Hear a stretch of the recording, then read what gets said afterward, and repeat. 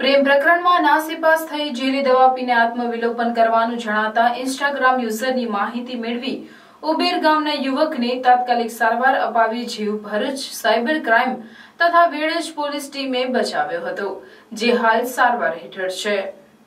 બનાવની પ્રાપ્ત વિગત અનુસાર જંબસર તાલુકાના ઉબેર ગામના અઢાર વર્ષીય યુવકે પોતે ઝેરી દવા પીને આત્મવિલોપન કરતો હોવાનું સ્ટેટસ ઇન્સ્ટાગ્રામ ઉપર અપલોડ કર્યું હતું.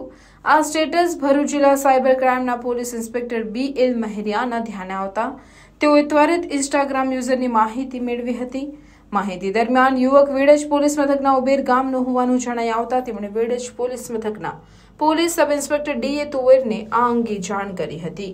જેના પગલે police sub inspector DA Tuvar staff સાથે ઉબેર નવી નગરી ખાતે દોડી ગયા હતા અને યુવકને શોધી કાઢી પૂછપરછ કરતા તેણે પ્રેમ પ્રકરણમાં ઝેરી દવા પીધી હોવાનું જણાવતા પોલીસ જીપમાં યુવકને જંબુસર રેફરલ હોસ્પિટલ ખાતે સારવાર અર્થે ખસેડાયો હતો.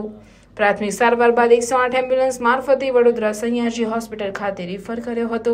હાલ યુવક સ્વસ્થ અને સારવાર હેઠળ છે.